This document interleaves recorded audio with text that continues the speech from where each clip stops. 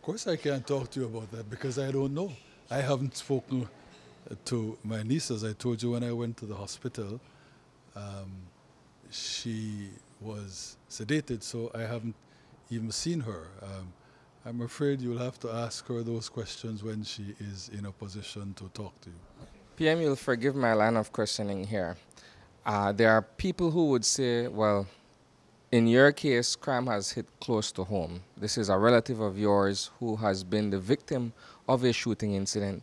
Are you considering, in the grand scheme of things, uh, addressing some of the issues that leads to crime and violence as it concerns your niece? No, well, not as it concerns my niece, as it concerns the general public. We're trying to do that uh, constantly. It is uh, continuing, continuous labor, and uh, we will proceed